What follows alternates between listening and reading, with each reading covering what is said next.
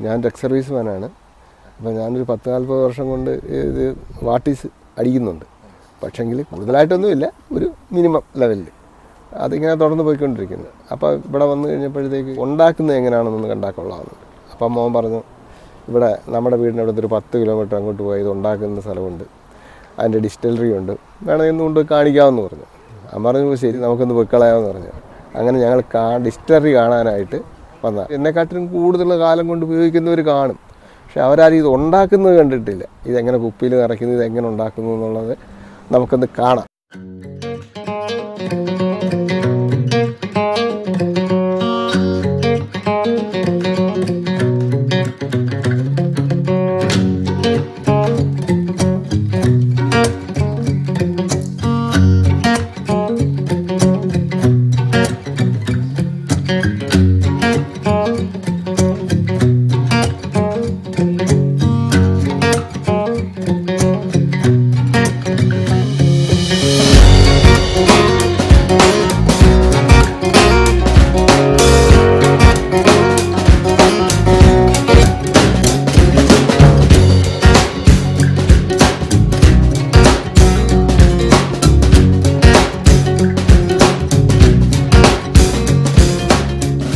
Hills ഡിസ്റ്റിലറിൽ എത്തിയിരിക്കുകയാണ്.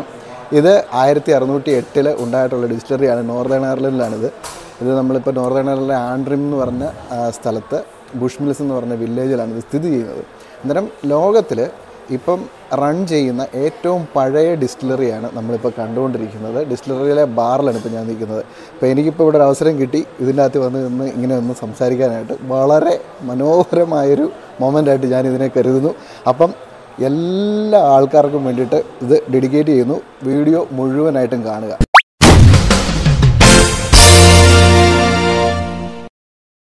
നമ്മൾ U കെയിൽ വന്നു കഴിഞ്ഞാൽ പൊതുവെ എല്ലാ സ്ഥലങ്ങളിലും ഇവരുടെ ബുക്കിംഗ് നിർബന്ധമാണ്. നമ്മുടെ നാട്ടിലൊക്കെ ചെയ്യുന്ന പോലെ എവിടെയെങ്കിലും അപ്പോയിൻമെന്റ് ഒന്നും ഇല്ലാതെ നമ്മൾ നേരെ വന്നു കഴിഞ്ഞാൽ ഇവർ നമ്മളെ ചിലപ്പോൾ അകത്തോട്ട് നമ്മൾ കയറ്റിവിടത്തില്ല അതുകൊണ്ട് തന്നെ നമ്മൾ നേരത്തെ തന്നെ നമ്മൾ ബുക്ക് ചെയ്തതിന് ശേഷം വേണം നമ്മൾ ഇതേപോലെയുള്ള കാര്യങ്ങളൊക്കെ വിസിറ്റ് ചെയ്യാനായിട്ട് വരാനായിട്ട്. മൊത്തത്തിൽ യു കെയിൽ നമ്മൾ ഒരു കാര്യം കറക്റ്റായിട്ട് പറഞ്ഞു കഴിഞ്ഞാൽ ആ ഒരു സമയത്തിന് മുമ്പായിട്ട് ഇവിടെയുള്ള ആൾക്കാർ എത്തിച്ചേരും. സമയനിഷ്ഠ എന്ന് പറയുന്നത് നമ്മൾ പൊതുവേ നമ്മൾ മലയാളികൾക്ക് ഇത്തിരി കുറവായതുകൊണ്ട് ഞങ്ങൾ ഏകദേശം ഒരു ഒമ്പതേ മുക്കാലൊക്കെ ആയപ്പോഴാണ് ഇവിടെ വന്നത്. പക്ഷേ എന്നിരുന്നാലും ഞങ്ങൾ ഞങ്ങൾക്ക് വേണ്ടിയിട്ട് അവർ വെയിറ്റ് ചെയ്ത് പത്ത് മണിയൊക്കെ ആയപ്പോഴാണ് ഞങ്ങൾ അകത്ത് കയറ്റിയത്. ഇനി പത്ത് മണിയുടെ ടൂറിനാണ് ഞങ്ങളിപ്പം സ്റ്റാർട്ട് ചെയ്യാൻ പോകുന്നത്. നമുക്കിനിപ്പോൾ അടുത്തേക്കുള്ള കാഴ്ചകൾ നമുക്ക് കയറി കാണാം. നേരത്തെ ബുക്ക് ചെയ്തതനുസരിച്ച് ടിക്കറ്റ് എല്ലാം അവരെ കാണിച്ചു കഴിഞ്ഞപ്പോഴത്തേക്ക് അവർ ഞങ്ങൾക്ക് മൂന്ന് പേർ ഞാനും വൈഫും മോനും കൂടെ വന്നു ഞങ്ങൾക്ക് മൂന്ന് പേർക്ക് ഒരു സാമ്പിൾ വെടിക്കൊട്ട് വന്നിട്ടുണ്ട്. വേണ്ടതാണിത് ഇത് ഇച്ചിരി ഇപ്പോഴേ ഞങ്ങൾ അടിക്കത്തില്ല.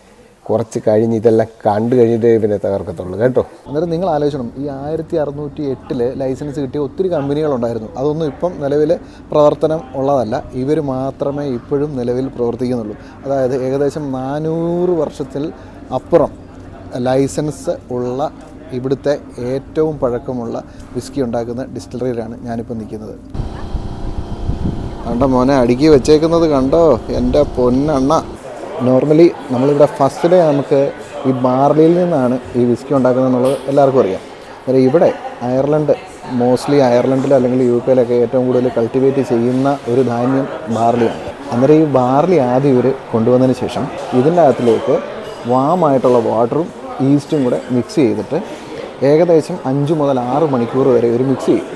ഈ മിക്സ് ചെയ്ത് കിട്ടുന്ന മിശ്രണം ഇവർ നേരെ ഇതിന്റെ വേറെയുള്ള പ്രോസസ്സിലേക്ക് കെമിക്കലായിട്ടുള്ള പ്രോസസ്സിലേക്ക് ഇവർ കയറുകയാണ് ചെയ്യുന്നത്. അന്നേരം ആ ഒരു പ്രോസസ്സിൽ നാൽപ്പത്തി എണ്ണായിരം ലിറ്ററാണ് ഇവർ ഫുൾ ഉൽപ്പാദിപ്പിക്കുന്നത്.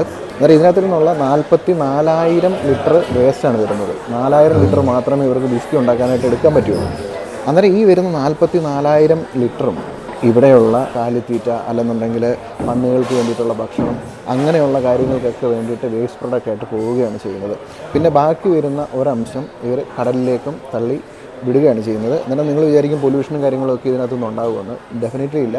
കാരണം ഇത് കടലിൽ കൊണ്ട് നിക്ഷേപിക്കുന്നിടത്ത് ഏറ്റവും കൂടുതൽ മീൻ വളരുമെന്നാണ് ഇവിടുത്തുള്ള ആൾക്കാർ പറയുന്നത്. സോ അത് കേട്ടപ്പോൾ നമുക്ക് ഭയങ്കര അത്ഭുതമായിപ്പോയി കാരണം നമുക്ക് നമ്മളിപ്പോൾ എന്തെങ്കിലും ഒരു ഫാക്ടറിയിൽ ഒരു സാധനം ഒരു ഉണ്ടായിക്കഴിഞ്ഞാൽ അതിന്റെ മാലിന്യം ഏറ്റവും കൂടുതൽ നമ്മൾ പുറന്തള്ളുന്നത്. പക്ഷേ ഇവിടെ എന്ന് പറഞ്ഞു കഴിഞ്ഞാൽ ആൽക്കഹോൾ എന്ന് പറയുന്നത് അത്ര ക്ലിയർ ആയിട്ടുള്ള പ്യൂർ ആയിട്ടുള്ള സാധനമാണെന്ന് തോന്നുന്നത് കാരണം ഇതിന് വേറെയുള്ള മാലിന്യങ്ങളൊന്നും വരുന്നുമില്ല അപ്പോൾ കൈസ് അന്നേരം നമുക്കിത് കാണാൻ വേണ്ടി മാത്രം ഒരു വെച്ചിരിക്കുന്നതാണ്. ഇത് സിംഗിൾ മാൾട്ടിന്റെ ബാരലാണ് അന്നേരം ഈ ബാരൽ ഉണ്ടാക്കിയിരിക്കുന്നത് അമേരിക്കൻ ഓക്കിലാണ് ഈ ഓക്ക് തടിയുടെ പ്രത്യേകത എന്ന് പറഞ്ഞു കഴിഞ്ഞാൽ ഇതിനൊരു ചെറിയ സ്മെല്ലും കാര്യങ്ങളൊക്കെ ഉണ്ട്. ഇതാണ് വിസ്കിക്കൊക്കെ കളർ കൊടുക്കുന്നത്. സോ ഇതിന്റെ അകത്തിലെ പ്രഷർ കൊണ്ടാണ് നമ്മളുടെ സ്പിരിറ്റിന് ആ ഒരു കളറും ആ ഒരു സ്മെല്ലും കാര്യങ്ങളും ഒക്കെ വരുന്നത്. ഇത് ഏകദേശം മൂന്ന് വർഷം ഒരു ദിവസത്തിന് ശേഷം മാത്രമേ നമുക്ക് വിസ്കി എടുത്ത് ഉപയോഗിക്കാനായിട്ട് പറ്റുള്ളൂ. അന്നേരം ഇവിടുത്തെ വിസ്കി ഒരു വിൽക്കുന്നത് ഏകദേശം നാല് വർഷം കഴിഞ്ഞതിന് ശേഷമുള്ള വിസ്കി മാത്രമേ വിൽക്കുകയുള്ളൂ അതിന്റെ പേര് റെഡ് ബുഷ് എന്നാണ്. നമുക്ക് പിന്നെ ലേറ്റർ നമുക്ക് കാണാം അത്. അന്നേരം ഇത് ഓൾഡ് ബുഷ്മിൽസ് ഡിസ്റ്റിലറിയാണ്. നമുക്കിപ്പോൾ ഈ കാണാം ഇവർ പണ്ട് മുതലേ ഉണ്ടാക്കിയിരിക്കുന്ന ആ ഒരു കെട്ടിടങ്ങളും കാര്യങ്ങളും ഒക്കെ മനോഹരമായിട്ട് തന്നെ അവർ ഇവിടെ സെറ്റപ്പ് ചെയ്ത് വെച്ചിട്ടുണ്ട്. അന്നേരം നിങ്ങൾക്ക് ചോദിക്കാം ഈ ബ്ലെൻഡഡ് വിസ്കി എങ്ങനെ ഉണ്ടാകുന്നത്? സിംഗിൾ മാൾട്ട് വിസ്കി എങ്ങനെ ഉണ്ടാകുന്നതെന്നൊക്കെ നിങ്ങൾക്ക് ഒരു അതിശയം വരാം. എന്റെ ധാരണ വേറെയായിരുന്നു. സിംഗിൾ മാൾട്ട് എന്ന് പറഞ്ഞാൽ ഒറ്റ ഒരു മാൾട്ടിന്റെ അകത്ത് തന്നെ ഉണ്ടാക്കുന്നതാണെന്നാണ് ഞാൻ കരുതിയിരുന്നത്. ബ്ലെൻഡഡ് വിസ്കി എന്ന് പറയുന്നത് അയർലൻഡിലെ കോർക്കിലെ മിഡിൽ ടണ്ണിൽ നിന്നുള്ള ഡിസ്റ്റിലറിയിൽ നിന്ന് അവർ അവിടുന്ന് സ്പിരിറ്റ് കൊണ്ടുവരുന്നുണ്ട്. പിന്നെ ഇവിടെ ഉണ്ടാക്കുന്ന ഐറിഷ് ഇവരുടെ അതായത് Old Bushmills Irish spirit ഉണ്ട് ഈ രണ്ട് സ്പിരിറ്റും കൂടെ മിക്സ് ചെയ്തിട്ടാണ് ഇവർ ബ്ലെൻഡഡ് വിസ്റ്റി ഉണ്ടാക്കുന്നത്. സോ അന്നേരം വേറൊരു ഡിസ്റ്റിലറിയിൽ ഉണ്ടാക്കിയിരിക്കുന്ന സ്പിരിറ്റും ഇവരുടെ സ്പിരിറ്റും കൂടെ മിക്സ് ചെയ്യുന്നതിനെയാണ് ബ്ലെൻഡഡ് എന്ന് വിളിക്കുന്നത്. അന്നേരം അതിപ്പോൾ ഏത് ഡിസ്റ്റിലറിയിലാണെങ്കിലും അങ്ങനെ തന്നെയാണ്. അല്ലാതെ നമ്മളിപ്പം വിസ്കി ഉണ്ടാക്കി കഴിഞ്ഞതിന് ശേഷം ബ്ലെൻഡ് ചെയ്തെടുക്കുന്ന സാധനമല്ല. നമ്മൾ ഈ കാണുന്ന പ്രോസസ്സിലൂടെയാണ് വിസ്കി ഉണ്ടാകുന്നത് അങ്ങനെ ഇവർ മൂന്ന് പ്രാവശ്യം ഇവർ ഈ ഒരു സെയിം പ്രോസസ്സ് തന്നെ കണ്ടിന്യൂ ചെയ്യും. ആദ്യത്തെ പ്രോസസ്സിൽ ഇവർക്ക് കിട്ടുന്നതെന്ന് പറഞ്ഞാൽ ഏകദേശം ട്വന്റി ഫൈവ് പെർസെന്റ് ഉള്ള ആൽക്കഹോളാണ് കിട്ടുന്നത്. രണ്ടാമത്തെ പ്രോസസ്സ് നടക്കുമ്പോഴത്തേക്കും ഇവർക്ക് ഏകദേശം ഒരു എഴുപത് മുതൽ എഴുപത്തഞ്ച് ശതമാനം വരെയുള്ള ആൽക്കഹോളാണ് കിട്ടുന്നത്. അങ്ങനെ മൂന്നാമത്തെ പ്രോസസ്സിലാണ് നമുക്ക് എയ്റ്റി ഫോർ പെർസെന്റ് ഉള്ള സ്പിരിറ്റ് നമുക്ക് കിട്ടുന്നത്. അന്നേരം ഈ എയ്റ്റി ഫോർ പെർസെന്റ് സ്പിരിറ്റ് ഇവർ സിക്സ്റ്റി ത്രീ പെർസെന്റ് ആക്കി ഡൈല്യൂട്ട് ചെയ്തതിന് ശേഷം മാത്രമേ ഓക്കിന്റെ ബാരലിനകത്തിൽ ഇവർ ഇട്ട് വെക്കുകയുള്ളൂ. കാരണം എങ്കിലേ നമുക്ക് കഴിക്കാനായിട്ട് യോഗ്യമാവുകയുള്ളൂ. ഇപ്പോൾ കൊടുത്തിരിക്കുന്ന എയ്റ്റി ഫോർ പെർസെന്റ് എന്നുള്ള ആ ഒരു സ്പിരിറ്റ് നമ്മൾ കഴിച്ചു കഴിഞ്ഞാൽ ചിലപ്പം അവർ പറഞ്ഞത് ഇങ്ങനെയാണ്. നിങ്ങൾ കഴിച്ചു കഴിഞ്ഞാൽ നിങ്ങളുടെ പല്ലിന്റെ ഇനാമൽ വരെ അടിച്ചു പോകുമെന്നാണ് പറഞ്ഞത്. ഈ ഒരു പോർട്ടിക്കൂടാണ് ഇവർ സ്പിരിറ്റ് ഒഴിക്കുന്നത്. ഈ സ്പിരിറ്റ് ഒഴിച്ച് വെച്ചിട്ട് ഇവർ കോർക്ക് കൊണ്ടുവന്നത് അടയ്ക്കും. അടച്ചു വെച്ചിട്ട് ഇതിനകത്തിൽ ഒരു പ്രഷർ അന്നേരം രൂപപ്പെടും. അങ്ങനെ നാളുകൾ കുറേ കഴിയുമ്പോഴത്തേക്കിന് എത്ര വർഷമാണെന്ന് വെച്ച് കഴിഞ്ഞാൽ അത്രയും വർഷം ഇതിനകത്തിൽ ഇരിക്കുമ്പോഴത്തേക്കിന് അതിന്റെ ഗുണവും കാര്യങ്ങളും ഒക്കെ ഇതിന് കിട്ടുകയുള്ളൂ. അന്നേരം ഇതിന്റെ ഒരു തടിയിലാണ് വിസ്കിയുടെ പരിപാടികൾ മൊത്തം ഇരിക്കുന്നത്. അന്നേരം കളറും മണവും ഈ ഒരു സ്പിരിറ്റിന് കിട്ടണമെന്നുണ്ടെങ്കിൽ ആ തടിക്ക് ക്വാളിറ്റി ഉണ്ടാകണം എന്നിട്ട് ഇവർ ഉപയോഗിക്കുന്ന തടി എന്ന് പറയുന്നത് ജിം ബീമെന്നും പിന്നെ അതേപോലെ തന്നെ വേറെയുള്ള ജെയിംസൺ എന്നൊക്കെ പറഞ്ഞിട്ടുള്ള വിസ്കികളുടെ അവരുപയോഗിച്ചിട്ടുള്ള സെക്കൻഡ് ഹാൻഡ് ആയിട്ട് എടുത്ത് വെക്കുന്ന ബാരലാണ് ഇവിടെ അവർ ഉപയോഗിക്കുന്നത്. ഞാൻ ചോദിച്ചു എന്തുകൊണ്ടാണ് അത് അങ്ങനെ ഉപയോഗിക്കുന്നത് ചോദിച്ചപ്പോൾ ഇവർ പറഞ്ഞത് അതിന് കുറച്ചും കൂടെ മണം കാണും. കാരണം ഈ ജിം എന്ന് പറയുന്നത് ജിംബീൻ എന്ന് പറയുന്നത് ബോർബോൺ വിസ്കിയാണ് അന്നേരം ഇവർ ഉപയോഗിക്കുന്ന ബോർബോൺ വിസ്കിയൊക്കെ ഉപയോഗിക്കുന്നത് അവരുടെ കാസ്കുകളാണ്. ഒരു വിസ്കിയുടെ പ്രായം എങ്ങനെയാണ് കണക്കാക്കുന്നത് എന്നുള്ളത് ഞാൻ പറഞ്ഞുതരാം. അന്നേരം നമ്മൾ ആദ്യം ഇതിനകത്തിൽ കൊണ്ട് സ്പിരിറ്റ് നമ്മൾ ഇതിനകത്തിലേക്ക് നമ്മൾ ഒഴിച്ച് അടച്ചു വെക്കുന്നു. അടച്ചിട്ട് ഇത്ര വർഷം നമ്മൾ സൂക്ഷിച്ചു വെക്കുന്നു. അതാണ് അതിന്റെ പ്രായമായിട്ട് കണക്കാക്കുന്നത്. അന്നേരം നമുക്ക് ഫസ്റ്റിൽ നമ്മൾ ഇതിന്റെ അകത്തിലേക്ക് നമ്മൾ സ്പിരിറ്റ് ഒഴിച്ച് കഴിയുമ്പോഴത്തേക്കിന് ഏകദേശം ഇവരൊരു മുക്കാൽ മാത്രമേ ഇവർ ഫില്ല് ചെയ്യുള്ളൂ. അന്നേരം ഈ ഒരു ലെവലിൽ ഇവർ ഫില്ല് ചെയ്യുള്ളൂ. ഈ ഒരു ലെവലിൽ ഫില്ല് ചെയ്തിട്ട് ഏകദേശം ഒരു മൂന്ന് വർഷമൊക്കെ കഴിയുമ്പോഴത്തേക്കിന് ഈ ഒരു ലെവലെന്ന് പറയുന്നത് ഏകദേശം ഇത്രത്തോളം ഇവർക്ക് ലൂസായി പോകും. ഇവാപ്പറേറ്റ് ചെയ്യും. ഇതിനകത്തുള്ള വാട്ടർ കണ്ടന്റും കാര്യങ്ങളൊക്കെ ഇവാപ്പറേറ്റ് ചെയ്തിട്ട് ഇവർ പറയുന്നത് അത് ഏഞ്ചൽസ് കട്ടെന്നാണ് പറയുന്നത്. അതായത് ഇവിടുത്തെ ഇവരുടെ ഗാർഡിയൻ ഏഞ്ചൽ അത് വന്ന് കുടിക്കുമെന്നാണ് ഇവർ ഐതിഹ്യമായിട്ട് എന്റെ പറഞ്ഞു തന്നത്. Okay anyway whatever it is അതിനുശേഷം അവർക്ക് ഇത്ര അവർക്ക് കട്ടാകും. ഇത്രയും കട്ടായി കഴിഞ്ഞ ശേഷം ഇവർക്ക് ഏകദേശം ഇത്ര എമൗണ്ട് അവർക്ക് വിൽക്കാനായിട്ടുള്ള വിസ്കി ആയിട്ട് കിട്ടും. അതിന് വില കുറവായിരിക്കും. അത് ഏകദേശം ഒരു അഞ്ച് വർഷത്തെ പഴക്കമൊക്കെ കാണുള്ളൂ. പിന്നീട് അതിന് താഴോട്ട് പോകുമ്പോൾ അതായത് വർഷങ്ങൾ പഴക്കം വരുമ്പോഴത്തേക്കിന് പത്ത് വർഷം എടുക്കുകയാണെന്നുണ്ടെങ്കിൽ അവർക്ക് ഏകദേശം ഒരു പകുതി പകുതി മാത്രമേ അവർക്ക് വിസ്കിയുടെ കണ്ടന്റ് അതിനകത്ത് കാണുകയുള്ളൂ. സോ അതിനനുസരിച്ച് ആ ഒരു വില അതിനനുസരിച്ച് കൂടും. കാരണം അവർക്ക് അത്രയും ക്വാണ്ടിറ്റി അല്ലേ ഉള്ളൂ വിൽക്കാനായിട്ടുള്ളത്. അങ്ങനെ ട്വന്റി വൺ ഇയർ ഓൾഡ് ആയിട്ടുള്ള വിസ്കിയുടെ ഒരു ബാരലിന്റെ അകത്തിലെ എമൗണ്ട് എന്ന് പറയുന്നത് ഏകദേശം താഴെ വരെ വരുള്ളൂ. ഇത്രയും മാത്രമേ അവർക്ക് വിൽക്കാനായിട്ടുള്ള എമൗണ്ട് ആയിട്ട് അവർക്ക് കിട്ടുകയുള്ളൂ.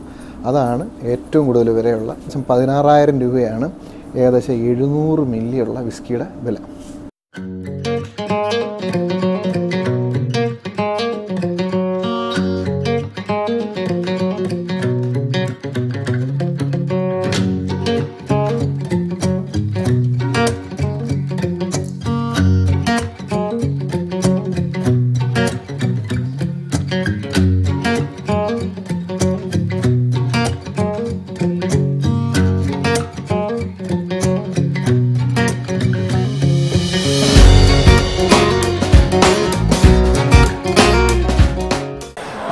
എങ്ങനെയാണ് കുടിക്കേണ്ടതെന്ന് നമ്മൾ വിസ്കി നമ്മൾ വീട്ടിൽ കൊണ്ടുവരിക കുപ്പി പൊട്ടിക്കുക വെള്ളം ഒഴിക്കുക എടുത്ത് അടിക്കുക. അല്ലെങ്കിൽ അല്ലെ വെള്ളം ഒഴിക്കുക അടിക്കുക.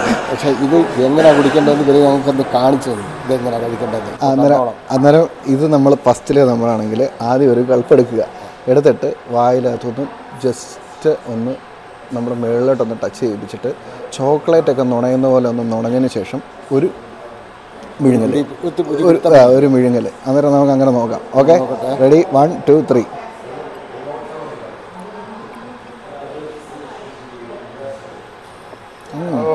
ഇറങ്ങുന്നില്ല. എല്ലാവരും കത്തിപ്പോയി. നടക്കത്തില്ല. നമ്മുടെ വീഡിയോസൊക്കെ നിങ്ങൾ ആദ്യമായിട്ടാണ് കാണുന്നതെന്നുണ്ടെങ്കിൽ ദയവായിട്ട് നമ്മുടെ ചാനൽ സബ്സ്ക്രൈബ് ചെയ്യുക ലൈക്ക് ചെയ്യുക ഫോളോ ചെയ്യുക. ഫേസ്ബുക്ക് പേജ് നിങ്ങൾ തീർച്ചയായിട്ടും നിങ്ങൾ ഫോളോ ചെയ്യണം ലൈക്ക് ചെയ്യണം. എല്ലാവരുടെയും സപ്പോർട്ട് വേണം. നമ്മൾ പുതിയ നല്ലൊരു കണ്ടന്റുമായിട്ട് അടുത്തൊരു ദിവസം എല്ലാവരെയും കാണുന്നത് വരെ എല്ലാവർക്കും